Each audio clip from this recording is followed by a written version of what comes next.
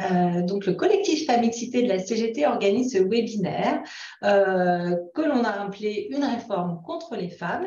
Euh, donc, déjà, je vais vous présenter, je vais me présenter. Donc, je suis Delphine Collin, donc, du collectif Famixité de la CGT. nous avons deux intervenantes aujourd'hui. Donc, Sophie Binet, qui est dirigeante de la CGT et pilote du collectif Famixité, et également secrétaire générale de, de l'UGICT CGT, et Rachel Silvera, qui est économiste et qui contribuent aux travaux du collectif euh, Famixité.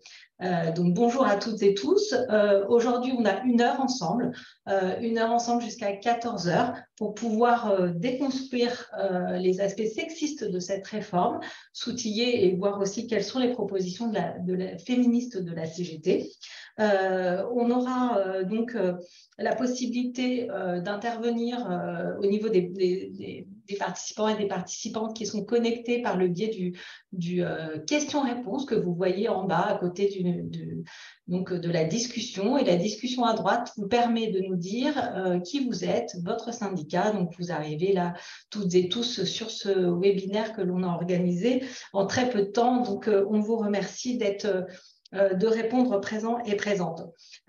donc Aujourd'hui, c'est un contexte très important puisqu'on est en pleine lutte euh, contre les retraites, mais que aussi on est à euh, un peu plus d'un mois du 8 mars euh, donc 2023, qui sera une journée très importante de grève féministe, donc à l'appel des organisations syndicales, mais également de nombreuses associations féministes. donc c'est vrai que sur ce 8 mars, ce sera aussi un enjeu très important, la question des retraites, des salaires. Bien sûr, il y a plein d'autres sujets, mais ce sera un sujet voilà, très, très important pour nous. Donc, euh, merci à vous deux euh, d'avoir accepté d'être d'être là aujourd'hui pour nous expliquer en quoi cette réforme est, sexiste et quelles sont les, les, propositions de la CGT. cela vous permettra aux unes et aux autres et aux uns de pouvoir vous approprier euh, tout cet argumentaire, mais aussi de le déployer, de pouvoir faire euh, des heures d'information aussi euh, syndicales, puisque ce matériel sera disponible en replay une heure, voilà, que vous pourrez utiliser du matériel que vous pouvez aussi pourrez retrouver sur notre site Égalité professionnelle CGT, où nous avons beaucoup de documentation et d'argumentaires féministes sur ces sujets et bien d'autres. Euh, donc, euh, ben, je vous donne la parole. Euh, donc, Sophie, à toi. Alors, bonjour à toutes et tous. Donc, avec Rachel, on vous a préparé un petit diaporama. Ce diaporama, vous pourrez le retrouver sur le site égalité-professionnel.cgt.fr, puis on vous l'enverra aussi par mail. Et donc euh, là, on va donc vous faire une présentation de ce diaporama. Et ce qu'on vous propose dans l'onglet Q et R, c'est dès qu'il y a un truc qui vous semble pas clair dans notre présentation, vous posez la question. Delphine nous interrompra pour euh, nous poser la, question, puisque l'objectif, c'est que vous soyez capable, vous, de décliner ce diaporama aussi en direction des, syndicats, des salariés, etc., pour aider à la mobilisation. Euh, alors, on va commencer.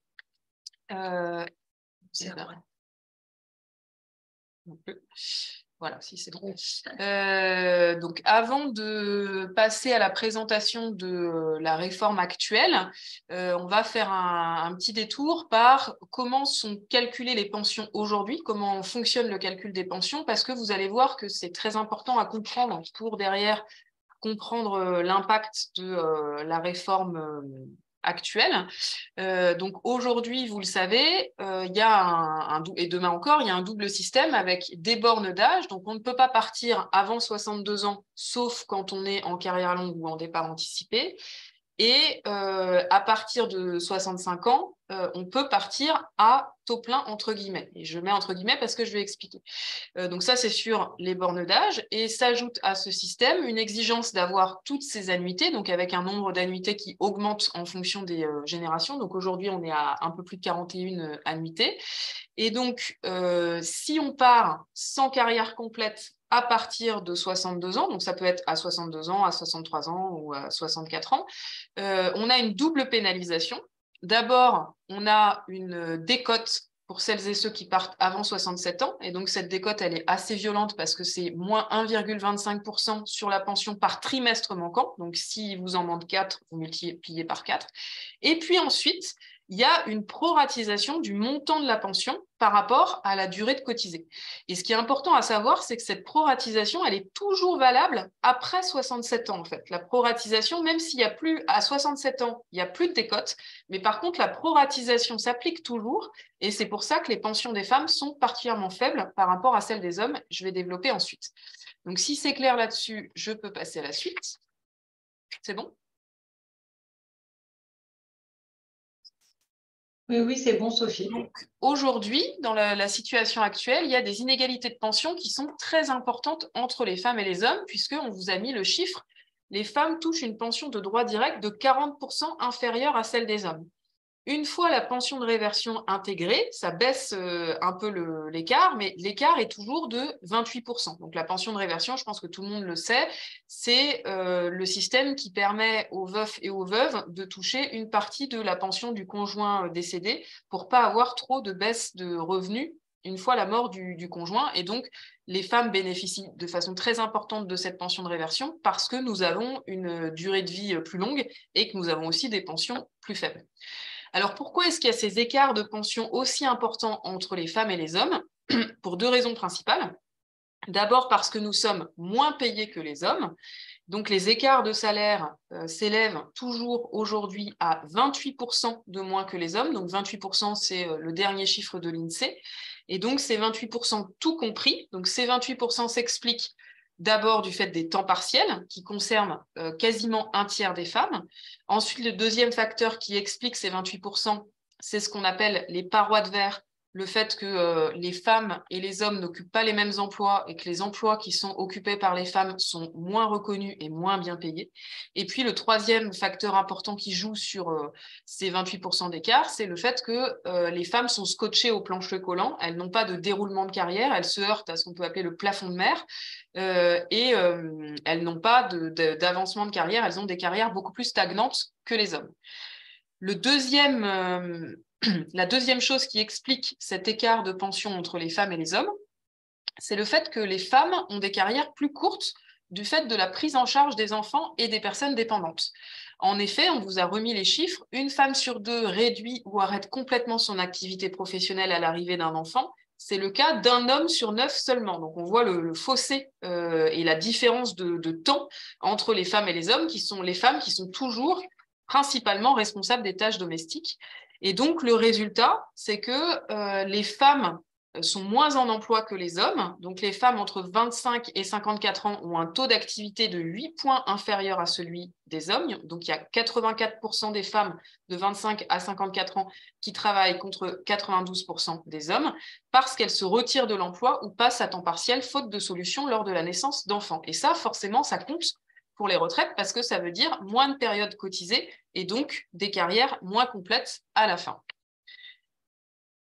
Alors, ces écarts, euh, donc le, chiffre qu'on a donné, c'est euh, le chiffre actuel, ont fortement été aggravés par euh, les différentes réformes régressives qui ont été euh, imposées en France depuis 1993, qui à chaque fois, leur point commun, c'est qu'elles pénalisaient l'ensemble des salariés, mais encore plus les femmes.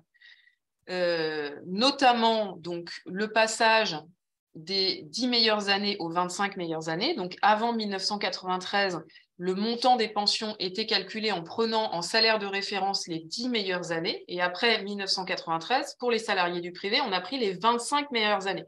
L'impact pour les femmes, il est évident, c'est que du coup, si on prend les 25 meilleures années, bah, dedans rentrent euh, les, périodes de temps partiel, les périodes de congé parental, les périodes d'interruption de carrière, etc. Et donc ça, ça conduit à une chute des pensions très importante pour tout le monde, mais encore plus importante pour les femmes.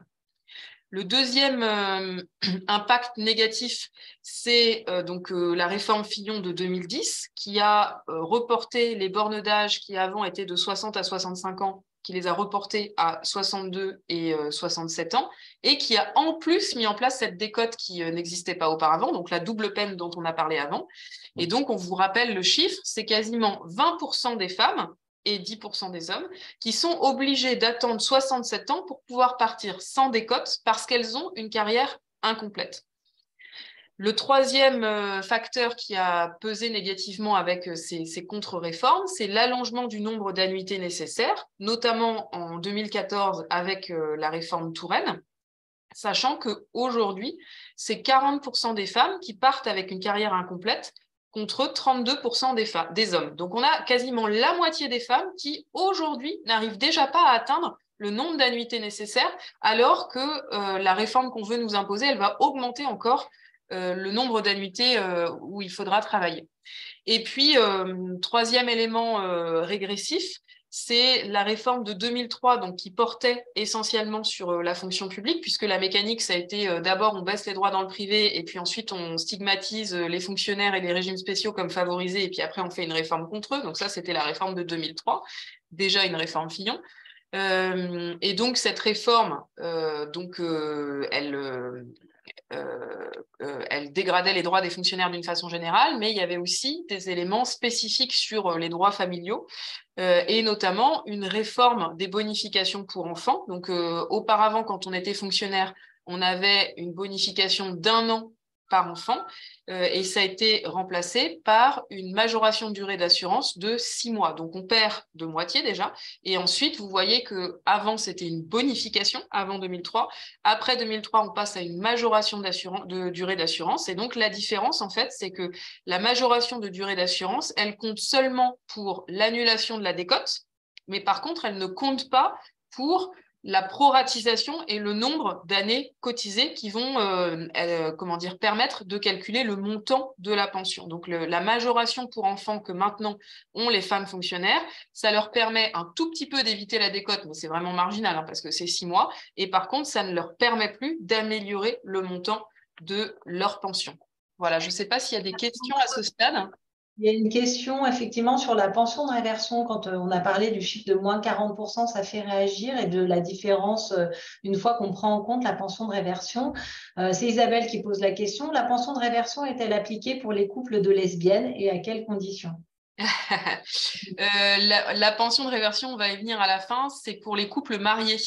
donc, ça fait aujourd'hui, la pension de réversion, elle joue de façon très forte mais c'est très inquiétant pour la suite parce que euh, les couples paxés ou concubins euh, n'ont pas accès à la pension de réversion. Et donc, l'impact correctif de la pension de réversion va changer, euh, sauf si on gagne la prise en compte des couples paxés dans la réversion. Donc, il y a un vieux dicton de, notaire que vous connaissez peut-être, vivez comme vous voulez, mais mourrez mariés. Et donc ça, pour les femmes en matière de pension de réversion, c'est très vrai parce que là, toutes les femmes aujourd'hui qui ne sont plus mariées en matière de retraite, euh, ça va être une catastrophe. Donc Sophie, merci beaucoup pour cet éclaircissement. Mais il y a une, aussi Bernadette qui dit, je n'ai pas bien compris le calcul de la proratisation. Est-ce que euh, du coup, euh, tu viens de... Eh bien non, en fait, la, donc, la proratisation, donc le principe, si je suis dans le privé, donc, vous savez, quand on est salarié du privé, on a une retraite de base sécurité sociale et en complément, on a les retraites complémentaires Agir Carco. Donc, la retraite de base sécurité sociale, elle est là pour assurer 50% en gros du dernier salaire, le reste étant complété par euh, les retraites complémentaires du privé. Et donc, en fait, pour calculer le montant de la pension, on fait 50% fois donc vos salaires de vos 25 meilleures années fois un coefficient de proratisation par rapport à vos annuités. Donc, si vous avez, admettons, vous partez aujourd'hui, vous avez vos 41 annuités, bah, ça sera 100%. Euh, et si euh, vous avez seulement 90% des annuités dont vous auriez besoin, bah, ça sera fois 90%. Donc, ça va vous faire 10% de baisse du montant de la pension que vous auriez eu. Je ne sais pas si c'est suffisamment clair. Je pense, Bernadette demandait, et dans le public, c'est vrai que c'est un calcul différent puisque ce sont les, six, derniers, six derniers mois, euh, effectivement, donc c'est un calcul. Dans le public, c'est le même principe, sauf que euh, donc, dans le public, donc les deux différences, c'est qu'il n'y a pas de régime complémentaire euh, et c'est les six derniers mois. Donc, le calcul, ça va être à peu près 70%, je, peut-être Delphine, tu le sais, 70% euh, fois le montant de votre salaire des six derniers mois, fois la proratisation, qui va du coup vous donner le montant de votre pension si vous n'avez pas de décote. Merci beaucoup, Sophie. Je te laisse euh, poursuivre. Eh bien, c'est à Rachel. Oui. On passe maintenant aux effets de la réforme. Pourquoi est-ce que c'est une réforme contre les femmes? Eh bien, mécaniquement, on peut dire que reporter l'âge de départ en retraite est encore plus défavorable aux femmes qui, on l'a déjà dit, sont, euh, euh, pour 40% d'entre elles, euh, partent avec une retraite incomplète. Cet allongement va doublement les pénaliser. D'abord, on vient de parler de la décote, il y aura une accentuation d'une éventuelle décote, puisqu'il vous manquera encore plus de trimestres. même donc à 64 ans, on vous, vous allonge les durées. Donc, de fait, vous risquez d'avoir une décote euh, plus élevée. Euh, et on sait que en moyenne, globalement, hein, les femmes partent un an plus tard que les hommes pour éviter cette décote, autre indicateur du décalage entre les femmes et les hommes. Et puis, il y a aussi une baisse de la pension à temps plein euh, par justement la dégradation du coefficient de proratisation dont Sophie vient de parler, puisque il risque d'y avoir encore moins de trimestres. Et donc, même si vous attendez 67 ans, eh bien, l'effet proratisation pourra être plus élevé puisqu'il vous manquera plus de trimestres. Et d'ailleurs, vous avez entendu sûrement que lundi dernier, le gouvernement a présenté son étude d'impact de la réforme et il a reconnu, et un des ministres lundi s'en est comment dire, vanté. Euh, et puis a fait machine arrière. Je ne sais pas comment il se fait qu'il est encore au gouvernement, puisqu'il a indiqué, et oui, mesdames, euh, l'allongement des durées de, de cotisation nécessaires va pénaliser plus les femmes que les hommes. Et dans l'étude, par exemple, on vous annonce que pour les générations nées en 1972, eh bien, les femmes devront travailler dans les projections qui sont faites neuf mois supplémentaires, alors que pour les hommes nés euh, au même moment, ça sera en moyenne cinq mois. Selon les générations, ça va du simple au double en ce qui concerne la durée de cotisation supplémentaire demandée au fur et à mesure que la réforme va s'appliquer à plein, hein, jusqu'à arriver à ces fameux deux ans complets pour les générations futures. Hein. Voilà, donc ça c'est déjà un premier niveau de, euh, euh, il y en a d'autres, il y en a plein d'autres. La liste peut être très longue. Donc, Merci beaucoup. Juste, excuse-moi, parce que alors, je rappelle, pour que ce soit plus pratique pour nous, merci beaucoup pour euh, votre euh, compréhension, de mettre vos questions plutôt dans le question-réponse plutôt que dans le chat, parce que c'est assez euh, compliqué sinon de, de pouvoir intervenir et de vous, de vous poser les questions. il y a une petite question sur majoration des droits par enfant en droit privé, donc c'est bien deux ans. Et est-ce que ça compte pour la Est-ce que ça compte pour quoi? Pour la décote et en trimestre assimilé pour diminuer la durée de cotisation. Euh, d'accord, donc ça compte pour éviter euh, la décote. Oui. Mais euh, ça ne compte pas pour. alors, je ne sais plus si ça compte pour la proratisation, mais ça, compte pour éviter la décote. Et alors, attention, l'une des réformes précédentes a changé aussi le régime de la majoration du privé, puisque sur les deux ans par enfant. La première année est liée à la maternité et va d'office à la mère, mais la seconde année euh, renvoie à l'éducation de l'enfant. Et ça, c'est toujours avec l'idée que l'Europe obligerait à un système égalitaire. Et donc, on a ouvert cette possibilité, il commence à y avoir des demandes, à ce que cette deuxième année puisse être attribuée au père.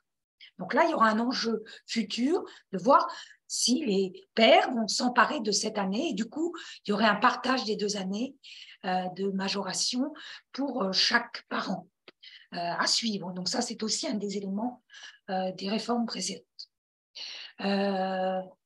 Merci Rachel. du coup, c'est vrai qu'il y a beaucoup de questions juste qui sont presque des petites, des petits cas pratiques. Donc, on va voir comment on peut répondre à ça, parce que sinon, on ne passera pas dans notre timing.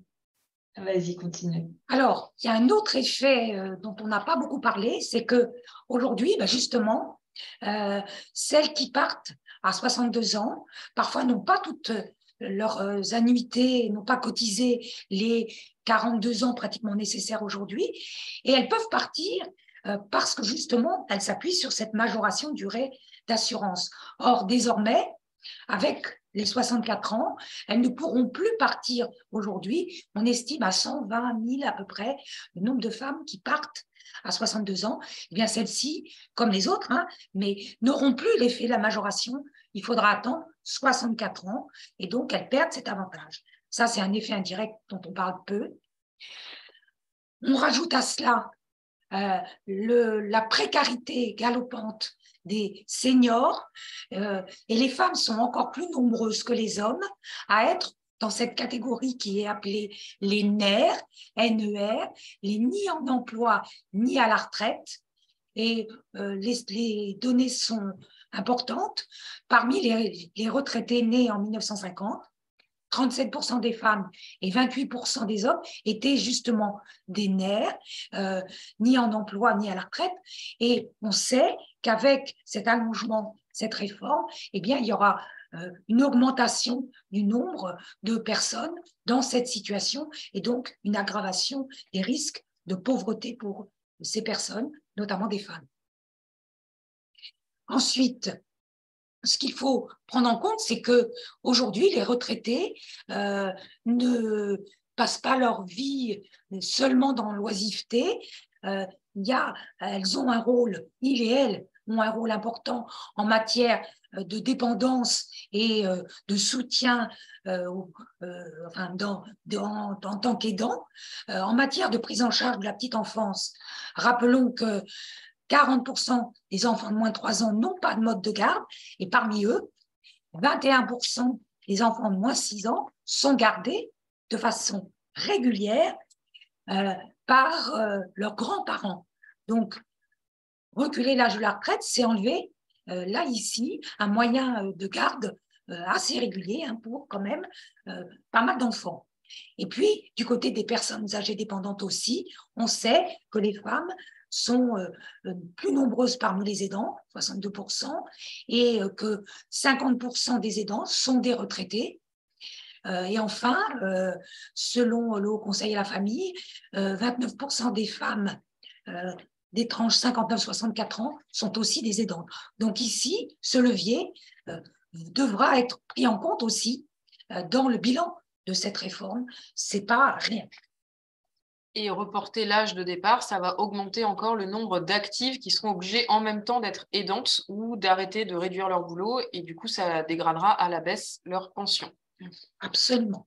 Alors, il faut le dire, la communication du gouvernement a été vraiment euh, euh, à mille paquets sur la question. Euh, enfin, on a entendu tous les jours dire que cette réforme était juste et juste notamment pour les femmes.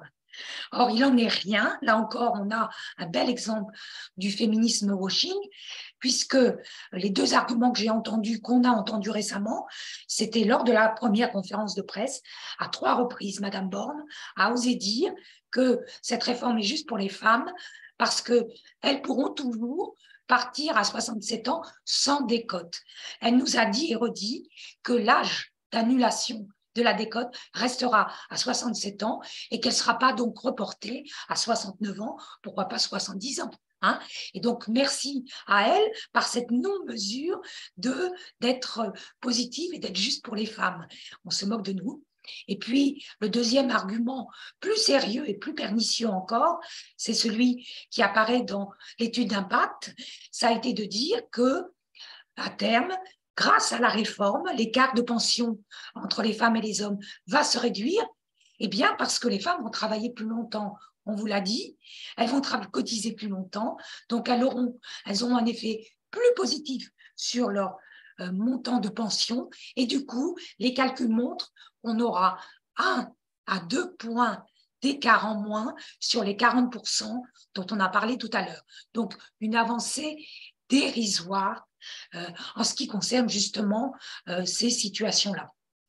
D'autre part, il est beaucoup question du minimum de pension et du fait que si les femmes vont gagner plus, c'est aussi parce que les revalorisations du minimum de pension va concerner les femmes, notamment, hein, et tout particulièrement les femmes. Mais n'oublions pas que parmi la génération 1950 euh, partie à la retraite, la moitié des femmes et un tiers des hommes perçoivent le minimum de pension. 37% des femmes retraitées et 15% des hommes touchent même moins de 1000 euros bruts mensuels, c'est-à-dire 909 euros net. La revalorisation du minimum de pension à 1200 euros ne s'appliquera pas en totalité pour les femmes parce qu'elle concerne les retraites complètes. Donc, il faut avoir une durée de cotisation complète, à taux complet, et avoir travaillé à temps complet toute sa carrière.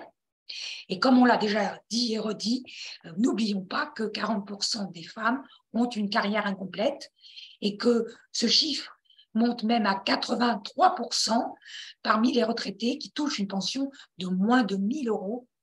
Et donc, il s'agit surtout de femmes. Alors peut-être un zoom très rapide parce que c'est aussi complexe et vous le lirez à tête reposée hein, sur les minimums, les minima, on devrait dire. Il y a deux indicateurs le minimum de vieillesse qui correspond, qui est ouvert donc à partir de 65 ans et qui est sous condition de ressources, mais sans cotisation, sans condition de durée de cotisation. Donc, c'est ce minimum de vieillesse pour surtout les personnes qui ont eu de grandes périodes d'inactivité, hein, une majorité de femmes là aussi. Euh, et donc, on ne rentre pas dans le détail, mais c'est autour de 960 à 1400 euros en cas de couple. Hein. Et donc, il y a des femmes qui se trouvent justement avoir, être en dessous ce minimum et qui donc euh, vont euh, arriver à 960 parce qu'elles n'ont pas travaillé toute leur vie. Euh, et puis une petite, euh, une petite remarque, c'est qu'il faut rembourser ce minimum euh, après décès en cas de patrimoine supérieur à 37 000 euros. Et puis l'autre indicateur dont on parle aujourd'hui, c'est le minimum de pension, c'est le minimum contributif dans le privé, minimum garanti dans la fonction publique. C'est là ce que je viens de vous dire, hein, c'est lui qui passerait à 1200 euros, attention, brut, je ne l'ai peut-être pas dit tout à l'heure, et il ne s'applique pas, euh, il ne s'applique qu'en cas de carrière complète parce que dans ce calcul du minimum de pension, il y a d'une part ce qui relève de la pension de base et qui sera porté donc à 850 euros avec la réforme, et le reste qui correspond à la retraite complémentaire dans le privé. Euh, donc, les personnes qui ont eu des périodes de, temps partiel euh, auront une retraite complémentaire plus faible euh, et donc n'auront pas la totalité euh, de ce minimum de pension annoncé 1200 euros. On pas, il y a plusieurs chiffrages sur combien de personnes l'auront, mais on sait en tout cas qu'il ne s'agira pas d'une majorité de femmes, puisque elles, elles resteront en dessous du fait de carrières incomplètes et de carrières avec des périodes à temps partiel. Ça me paraît important. Il y a des questions sur les minimums Parce que c'est assez compliqué. on en parle beaucoup. Oui, il y a, en fait, il y a une, question sur est-ce que le temps partiel thérapeutique est évalué de façon identique au temps partiel pour enfants? Euh, bah, c'est du temps partiel tout court. En fait, le seul temps partiel qui n'est pas évalué pareil, c'est euh, quand l'employeur cotise à temps plein. Vous savez, il y a du temps partiel bonifié, par exemple, pour euh, les seniors. Mais sinon, tout le reste, c'est du temps partiel. Sauf si, alors après, je ne sais pas dans le détail, le temps partiel thérapeutique, c'est l'employeur cotise temps plein. Je, je, pense que sur le temps partiel thérapeutique, euh, comme euh, il y a un salaire à temps plein, euh, c'est pas. ah oui, bah oui, bah oui, puisque c'est comme le salaire est à temps plein, tu cotises à temps plein, c'est évident. Je réponds directement, désolée. Bon, voilà la question un petit peu comme ça euh, de Catherine qui est, finalement assez euh, intéressante. Euh, mais est-ce que l'écart, il, va vraiment se réduire en fait? Non, il va s'aggraver, ça va se dégrader. Alors on continue? Alors on continue sur les mesures annoncées on nous dit que sur les carrières longues, eh bien, on va prendre en, compte le congé parental, euh, mais je pense que ce n'est pas la peine d'y consacrer beaucoup de temps, puisque dans l'étude d'impact, ils disent même que ça devrait concerner, à un moment donné, ils disent 2000, ça sera entre 2000 et 3000 personnes, des femmes, qui pourront entrer dans la carrière longue grâce à ces périodes de congé parental. Donc, c'est vraiment une toute petite mesure. Enfin, une autre petite mesurette, euh, c'est l'idée d'introduire un index seniors. Alors, euh, au collectif Amixité, on a beaucoup euh, souri sur cette mesure, puisqu'elle menacerait les entreprises d'avoir peut-être à terme un contrôle sur le maintien et l'embauche de seniors, mais si on s'appuie sur les effets de l'index égalité, on peut s'attendre à ce qu'il y ait très peu d'incidence d'un tel index sur la vie des entreprises et sur le fait qu'elles considèrent en règle générale que l'employabilité des seniors est faible. Et alors, lorsqu'il s'agit des femmes, on sait très bien que là aussi, il y a une double peine. Et donc, les femmes seniors sont encore plus inemployables que les hommes seniors. Donc ça, ça joue aussi sur la com, mais pas du tout sur euh, de vraies mesures euh, qui pourraient être plus justes et réduire ces écarts de pension. Dernier volet important, la pénibilité. Là aussi, donc je vais résumer euh, parce que c'est très complexe. Euh, on annonce qu'on va améliorer, mieux prendre en compte la pénibilité des personnes euh, pour leur permettre de partir peut-être un peu plus tôt. N'oublions pas que depuis le compte professionnel de prévention, certains critères de pénibilité avaient été exclus. Il est question de les remettre. On n'en est même pas sûr. Et euh, donc, parmi ces critères, le port de charge lourd, les postures pénibles correspondaient à beaucoup d'emplois féminisés. Aujourd'hui, on sait que ce compte euh, euh, a comment dire, très peu de salariés ont pu en bénéficier et que, en gros, il s'agit surtout d'une large majorité d'hommes qui sont partis avec quelques trimestres supplémentaires grâce à leur compte pénibilité la pénibilité des métiers féminisés est en général invisibilisée, euh, parce que déjà ces critères ne couvrent pas tout, parce que les seuils sont souvent trop élevés, et enfin parce que euh, y a un angle mort dans le travail des femmes, notamment dans les métiers du soin et du lien, c'est tout ce qui relève des exigences émotionnelles, faire face à la souffrance, euh, faire face à la mort de patients. Ça, ça n'est pas pris en compte, alors qu'on sait qu'avec la crise euh, du Covid, elles, surtout, ont été très nombreuses parmi le personnel soignant à avoir eu à faire face à ces contraintes. Donc, on n'en parle pas. Ensuite, il y a tout le régime de la fonction publique. Alors, je ne sais pas si on a le temps de rentrer dans les détails, mais c'est assez complexe. Hein.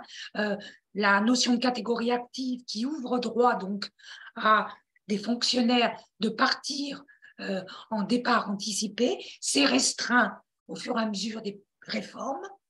Et on peut prendre l'exemple des infirmières, celles qui sont recrutées depuis 2010 sont entrées en catégorie A, mais elles sont pour la plupart, pas toutes, perdues euh, cette catégorie active. Et donc, je pense à ces infirmières qui aujourd'hui devront attendre 64 ans pour partir euh, à la retraite. Elles ne sont plus concernées par ces dispositifs.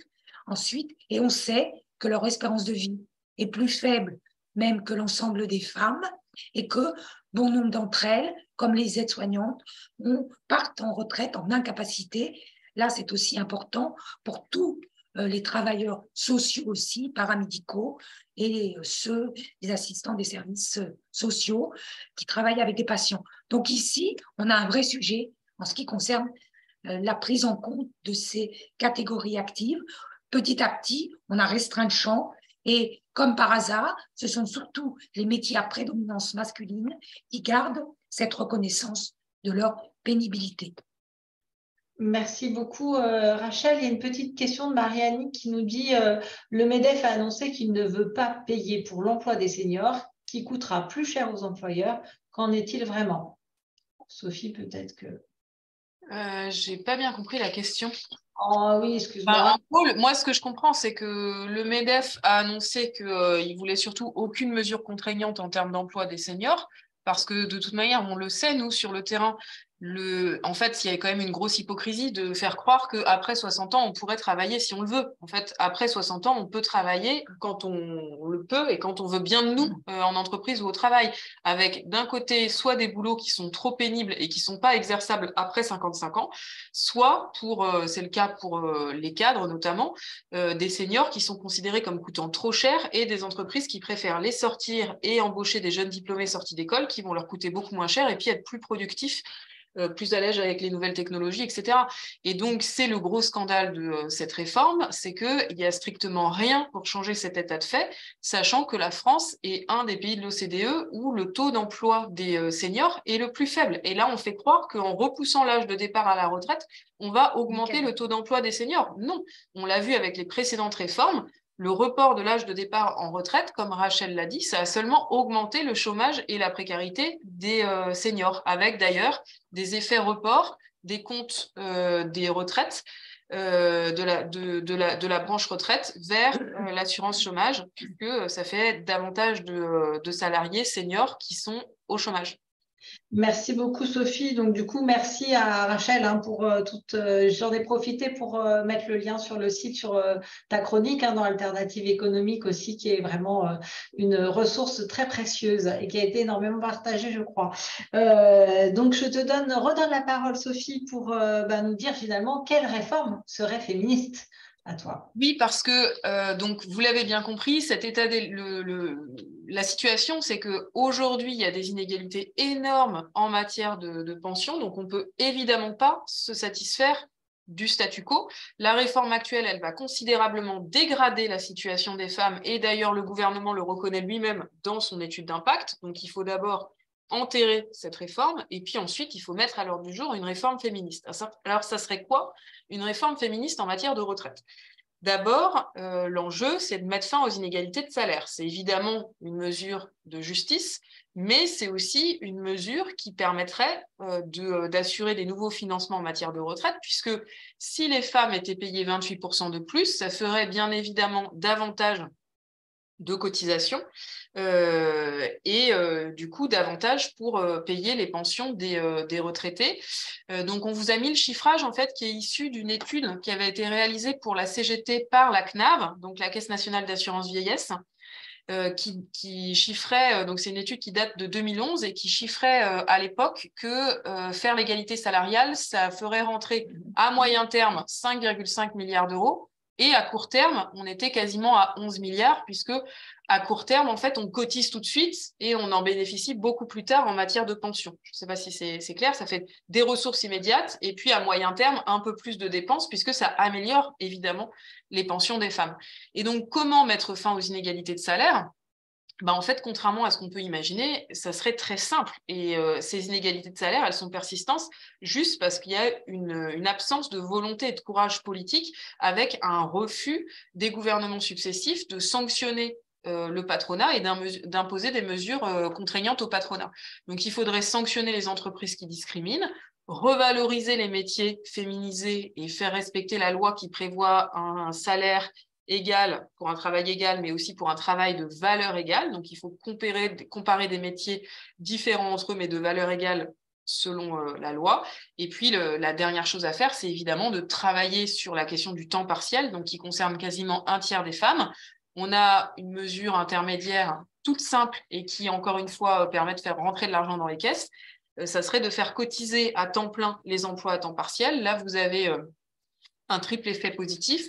D'abord, ça fait plus de, ressources pour la sécurité sociale. Ensuite, ça fait plus de droits pour euh, les femmes qui sont à temps partiel. Et enfin, euh, ça permet d'avoir un, coût dissuasif du temps partiel et de dissuader euh, au recours au temps partiel et d'inciter à l'emploi à temps plein. Alors, la deuxième chose à faire pour une réforme féministe, c'est d'augmenter le taux d'emploi des femmes et de l'aligner sur celui des hommes, puisqu'on a vu que du fait des tâches domestiques, les femmes travaillent moins que les hommes.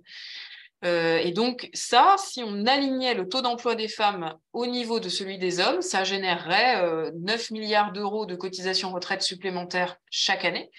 Alors évidemment, il ne suffit pas de le décréter pour que ça se, fasse, puisque si les femmes, euh, si un certain nombre de femmes travaillent pas ou peu, c'est pas par choix, c'est parce qu'elles sont obligées de prendre en charge les enfants ou euh, les personnes dépendantes. Et donc pour cela, il faut socialiser les tâches domestiques, créer un service public de la petite enfance et de l'accompagnement des personnes dépendantes pour prendre en charge toutes ces tâches domestiques qui sont assumées par les femmes, que ça soit pris en charge par le service public de façon à lutter contre les inégalités de genre et les inégalités sociales. Et donc, le point intéressant quand même de cette diapo, c'est que si vous faites 9 milliards plus 5,5 milliards, si on ne se trompe pas, ça fait 14,5 milliards. Et là, tiens, cette somme est vraiment proche et d'ailleurs équivalente même et supérieure euh, au déficit brandi par le gouvernement pour nous imposer sa réforme régressive. Donc s'il y avait euh, une politique volontariste en matière d'égalité femmes-hommes au, travail, ça suffirait à résoudre ce fameux déficit pour lequel on veut nous imposer un recul social majeur. Alors, euh, quelle réforme féministe en matière de temps et de retraite? On l'a vu, on en a parlé tout à l'heure le temps des femmes n'est pas le même que celui des hommes, puisque les femmes, elles prennent toujours en charge 80% des euh, tâches domestiques, et notamment la prise en charge de la petite enfance et des personnes dépendantes. Et donc, Aujourd'hui, on a vu, il y a 40% des femmes qui n'ont pas de carrière complète et même 32% des hommes qui n'en ont pas. Donc, penser aligner la durée de carrière des femmes sur des durées déjà inaccessibles pour les hommes, c'est illusoire. Donc, l'horizon, c'est pas de dire il va falloir travailler toujours plus sur la semaine, sur l'année, sur la vie tout entière, alors que déjà les hommes qui, mmh. s'occupent beaucoup moins des enfants n'y arrivent pas. L'horizon, c'est au contraire de réduire le temps de travail pour toutes et tous, de façon à permettre plus facilement aux femmes d'avoir des carrières complètes et d'accéder au temps plein, et euh, à permettre aux hommes qu'ils aient aussi plus de temps pour s'occuper euh, des enfants et des personnes dépendantes, sachant que réduire le temps de travail ne suffit pas mécaniquement à ce que les tâches domestiques soient mieux partagées. Il faut, pour jouer sur le partage des tâches, il faut aussi euh, des réformes sociétales et puis le développement des, euh, services publics. Et donc, pour finir la parenthèse sur la réduction du temps de travail, la dernière réforme féministe, c'était les 35 heures qui ont euh, permis à de nombreuses femmes qui étaient à temps partiel d'accéder au temps plein. Par contre, les 35 heures ne s'étant pas accompagnées d'une politique volontariste sur le partage des tâches domestiques, ça n'a pas joué sur le partage des tâches domestiques. Donc, euh, la réforme euh, féministe, c'est de réduire le temps de travail sur la semaine, l'année et la vie tout entière et de rétablir la retraite à 60 ans pour arriver sur des durées de carrière qui sont accessibles pour les femmes comme pour les hommes. La deuxième chose, c'est qu'il faut mettre fin aux dispositifs qui sont particulièrement discriminants pour les femmes, et notamment supprimer la décote. Donc, on a vu euh, dans les chiffres que c'était plus les femmes qui étaient pénalisées par euh, la décote que euh, les hommes, et rétablir le calcul des pensions sur les dix meilleures années. Donc, ça, c'est des mesures qu'on demande, qui sont positives pour les femmes comme pour les hommes, mais qui sont encore plus positives pour les femmes. ensuite, le minimum contributif que le gouvernement nous annonce avec tambour et trempette revalorisé à 85% du niveau du SMIC. Euh, bon, on va dire c'est une première étape, mais il faut évidemment pas s'arrêter là, puisque 85% du SMIC avec le SMIC actuel, en fait, on est seulement euh, à moins de 100 euros au-dessus du seuil de pauvreté. Et en plus, on a vu que le minimum contributif, euh, l'alignement, et pour partir en alignement d'affichage, parce que ça joue que sur la retraite de base et pas sur les retraites complémentaires. Donc, il faut euh, augmenter considérablement le minimum contributif. Et pour nous, pour une carrière complète, ça doit être au niveau du SMIC. Enfin, le minimum vieillesse, donc qui, en gros, c'est euh, le RSA des retraités. Donc, ce à quoi ont accès les retraités qui euh, n'ont quasiment pas, cotisé pour euh, plein de raisons. Euh, ce minimum vieillesse qui concerne majoritairement les femmes, puisque vous voyez que c'est 56% des femmes qui sont allocataires, il faut au minimum le revaloriser au niveau du seuil de pauvreté, parce que euh, déjà, avec ça, on a peine à vivre. Alors, quelle réforme féministe toujours? Il faut aussi travailler sur les droits familiaux. Donc, on a vu la grande régression de 2003 pour les femmes fonctionnaires. Et on voit qu'aujourd'hui, euh, les femmes euh, dans la fonction publique qui sont majoritaires d'ailleurs, hein, dans la fonction publique, les femmes sont majoritaires, donc c'est particulièrement important. contrairement à ce qu'on entend souvent, les fonctionnaires ne sont pas des privilégiés, et notamment en termes de bonification pour les enfants, les fonctionnaires sont très défavorisés. Donc nous demandons à ce que ces bonifications par enfant soient harmonisées par le haut sur les droits du privé, c'est-à-dire que chaque enfant donne droit à deux ans de bonification. Et pour revenir sur la question qui a été posée tout à l'heure, sur laquelle j'hésitais euh, un petit peu, donc j'ai eu le temps de vérifier. Et donc, dans le privé, les euh, majorations de durée d'assurance, ça compte et pour l'annulation de la décote et pour le calcul de la pension et la proratisation. Euh, donc c'est pour ça que ces majorations de durée d'assurance, elles sont très importantes et qu'on veut que les fonctionnaires puissent en bénéficier de la même manière. Et puis enfin, en matière de droits conjugaux, euh, on veut évidemment que euh, le, calcul des pensions de réversion, l'accès aux pensions de réversion s'adapte à la situation actuelle des couples où il y a de moins en moins de couples qui sont mariés. Il faut que les pensions de réversion puissent être ouvertes aux couples paxés de façon à ce que les pensions de réversion continuent à jouer leur rôle de correctif face euh, aux inégalités qui sont extrêmement importantes. et puis enfin, en matière de pénibilité. Euh, donc, euh, la CGT porte la, retraite à 60 ans pour toutes et tous, mais nous pensons qu'il faut euh, des départs anticipés avant 60 ans, donc à 55 et 57 ans en fonction du niveau de, de pénibilité pour tous les métiers pénibles, y compris ceux à prédominance féminine. Euh, et donc, il y a besoin d'avoir euh, une réflexion particulière pour la prise en compte euh, des critères de pénibilité dans les métiers féminisés qui sont invisibilisés. On en a parlé tout à l'heure avec Rachel. Et dans la fonction publique, ça passe par exemple par l'élargissement de la catégorie active euh, pour que euh, les catégories actives euh, de la santé soient alignées sur les catégories actives des métiers en uniforme, les policiers, les sapeurs-pompiers, les douanes, etc., qui actuellement ont une ouverture de droit à 52 ans, alors que dans la santé, c'est 57 ans. Et avec la réforme qui nous est promise, ça serait plus 2, donc 54 ans pour les policiers et les pompiers et 59 ans pour les aides-soignantes et une petite partie des, des infirmières. Donc on veut qu'il euh, y ait euh, euh, un élargissement des catégories actives dans la fonction publique de façon à ce que les métiers féminisés soient tirés vers le haut, alignés sur les métiers masculinisés, avec des départs plus tôt que ceux qui ont lieu aujourd'hui. Merci beaucoup, Sophie. Donc, du coup, il y a quelques questions, puisque là, euh, euh, qui, rejoignent un peu euh, toutes les, de façon un peu globale, hein, tout ce qu'on a pu dire, notamment, puisque c'était l'actualité de cette semaine, puisque c'était la, semaine contre, contre le sexisme, hein, toute une campagne menée par le Haut Conseil à l'égalité, où siège d'ailleurs la CGT. Donc, je pense que c'est Catherine, je ne suis pas très claire sur l'identifiant. Si on rajoute à cette réforme le dernier rapport du Haut Conseil à l'égalité sur le sexisme, ça nous fait un ensemble de dégradations sur les conditions des femmes qui doivent nous permettre de mobiliser.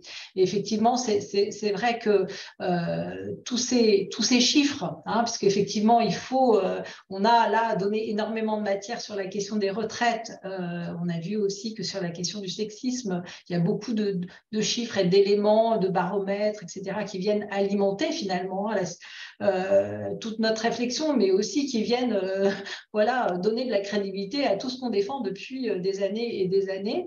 donc effectivement, toutes les conséquences des violences et du sexisme dans la carrière des femmes a aussi un impact sur, euh, sur leur rémunération et donc plus tard sur, euh, sur, leur, euh, sur leur pension. donc c'est vrai que c'était une réflexion comme ça. Et il y avait aussi la question de l'extrême droite. C'est-à-dire, euh, puisque l'extrême droite est quand même dans une imposture euh, vis-à-vis de, la retraite à, 60 ans, euh, comment finalement on se démarque de l'extrême droite qui argumente sur, sur la natalité Je pense qu'effectivement, je vous laisserai répondre, mais une petite réflexion comme ça, c'est qu'effectivement, tant qu'il n'y a pas le partage des tâches, on est obligé d'avoir des systèmes qui compensent finalement la, situation et qui permet de, finalement compenser. Le jour où on a l'égalité réelle dans la vie, euh, on n'aura euh, plus besoin de, tous ces dispositifs. Euh, qu'en pensez-vous toutes les deux? Ben, Juste sur l'extrême droite, pour celles et ceux qui sont à la CGT, il y a une note qui a été envoyée hier ou avant-hier sur l'extrême droite et les retraites qui est vraiment éclairante parce que vous avez le récapitulatif des votes du Rassemblement national à l'Assemblée nationale depuis qu'ils sont élus. Euh, et donc, ça confirme que le Rassemblement national est contre l'augmentation des salaires et que le Rassemblement national a voté systématiquement à chaque fois qu'il a fallu qu'il y a eu des propositions de loi pour revaloriser les salaires, revaloriser le SMIC, indexer les salaires sur l'inflation, etc. Le Rassemblement national a voté contre. Le Rassemblement national est aussi contre les cotisations sociales et propose même de baisser les cotisations sociales. Donc en fait, le Rassemblement national ne nous a jamais expliqué comment est-ce qu'il finançait la retraite à 60 ans, ou sinon, pire, les seules fois où il nous l'a expliqué, euh, c'était déjà, euh, ça, ne répondait pas aux besoins de financement, et en plus, c'était totalement raciste, puisque euh, quand il nous explique comment est-ce qu'il finance la retraite à 60 ans, il dit que c'est par la préférence nationale, et donc en excluant les étrangers de l'accès aux, droits sociaux. Donc évidemment, ça n'a aucune validité économique, mais c'est totalement raciste comme euh, politique de conditionner l'accès aux droits sociaux à la nationalité, alors que bah, les droits sociaux sont ouverts à tous les travailleuses et travailleurs en fonction de leur travail et de leurs besoins, bien sûr. Merci beaucoup Sophie. Alors pour l'instant, il n'y a pas d'autres euh, questions-réponses. Il y a des petits échanges aussi dans le chat par rapport, euh, j'ai donné des éléments sur euh, le pourcentage de femmes, puisque tu parlais effectivement que la fonction publique est à prédominance féminine, donc effectivement 63% de femmes. Et dans de nombreux métiers, elles sont souvent même jusqu'à 9 femmes sur 10 agents, agentes. Euh, donc c'est massif, hein. euh, effectivement, c'est tout le sens de la campagne hein, que, que, que l'on mène sur les métiers du soin et du lien avec la consultation euh, Mon travail le vaut bien, hein, Rachel, sur laquelle tu as énormément travaillé. ce sera pour nous, effectivement, beaucoup d'éléments aussi pour aller à la bataille sur la question des salaires, sur l'augmentation des salaires, la revalorisation donc des métiers à prédominance féminine, mais aussi investir dans ces secteurs du soin et du bien qui sont des, leviers très importants. Vous, vous en avez parlé euh, fortement. Euh, il nous reste une dizaine euh, de, minutes ensemble. donc, je n'ai pas vu d'autres. J'ai vu qu'il y avait une question sur, sur la tête, Sophie. Je, vous dis, là, je vous donne quelques, quelques éléments. non, je ne vois pas. Tac, tac, tac. Si, il y a de nouvelles questions qui viennent d'arriver. Alors, euh, dernière diapositive, pourquoi la seule fonction publique Rien que pour les métiers dans les IEG, par exemple, donc euh, dans les euh, donc, tout ce qui est industrie. électrique et gazière. Donc non, mais la dernière diapo, c'est un exemple. L'idée, l'enjeu, c'est de dire, il ne faut pas oublier la pénibilité des métiers féminisés, et donc être attentive, être attentif aux critères pour faire en sorte qu'ils ne soient pas indirectement discriminants. Et pourquoi est-ce qu'on a pris l'exemple de la fonction publique? Parce que Ça concerne énormément de femmes, en fait. C'est euh, des métiers très euh, féminisés et avec beaucoup, beaucoup euh, de, femmes, ce qui n'est pas le cas des, IEG, puisque dans le secteur de l'énergie, c'est quand même une population à majorité masculine. donc, il y a moins ces, ces, métiers très féminisés, mais évidemment que la CGT, elle dépend des départs anticipés le maintien déjà des régimes spéciaux et les départs anticipés pour tous les métiers pénibles et pas seulement dans la fonction publique. Et donc, du coup, ben, ça, donne envie de poser d'autres questions. Finalement, ça arrive. Euh, donc, il y a une question de Frédéric euh, qui nous demande euh, c'est quoi le temps de mariage nécessaire pour la reversion? Alors, j'ai partagé tout à l'heure le lien sur l'espace dédié. Ah, la colle, merci Frédéric. Alors... Moi, ce que j'ai fait pour essayer de faire une pirouette, parce que tout en faisant tout ce qu'on fait là en ce moment, c'est un peu compliqué quand il y a une, colle. donc, en fait, il y a, on a mis sur le site un espace dédié où vous avez avez euh, justement euh, toute une documentation sur la pension de réversion, comment ça fonctionne, etc., avec des petits schémas. Donc, je vous invite à aller regarder sur le site pour euh, avoir cette réponse. Et si quelqu'un a trouvé entre-temps, n'hésitez pas à nous dire.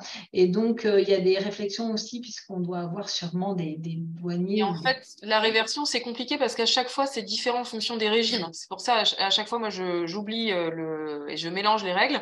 Euh, donc, il y a des règles pour le régime général du privé, il y a des règles pour les retraites complémentaires du privé et il y a des règles pour la fonction publique qui ne sont pas exactement les mêmes. Mais en gros, la pension de réversion, elle est proratisée au nombre d'années de mariage. Mmh. Et, il y a une... pour les divorcés. Ouais, c'est ça. Et il y a une petite précision par rapport au, euh, effectivement aux douaniers, puisqu'on a Stéphane qui euh, connaît bien son affaire, puisque c'est son administration. Euh, pour les douaniers, on rectifie, c'est 57 ans actuellement. Euh, et par contre, ce sont pour les surveillants pénitentiaires, puisque je suis de cette administration, donc j'en sais aussi quelque chose.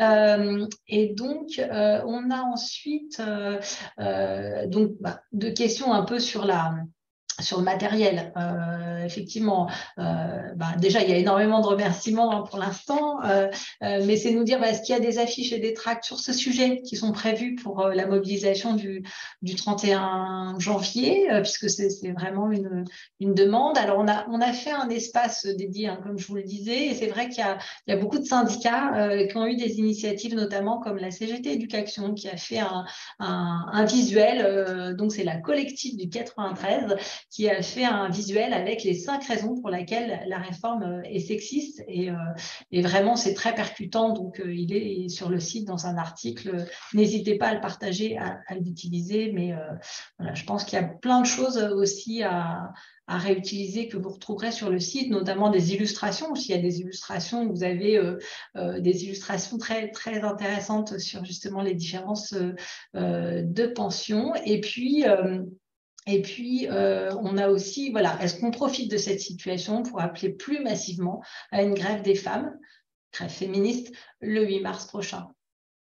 Tout à fait. Euh, donc, merci pour euh, la transition vers la conclusion.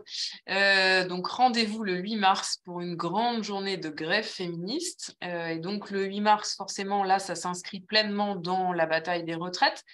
C'est quand même intéressant de se rappeler qu'il n'y a pas si longtemps que ça, en 2020, euh, le 8 mars, c'était un peu dans une configuration proche parce que euh, donc euh, en 2019-2020, dans sa réforme de la retraite à points, le gouvernement, pour nous la vendre, avait encore une fois instrumentalisé les femmes, puisque Édouard Philippe avait osé déclarer que les femmes seraient les grandes gagnantes de la réforme.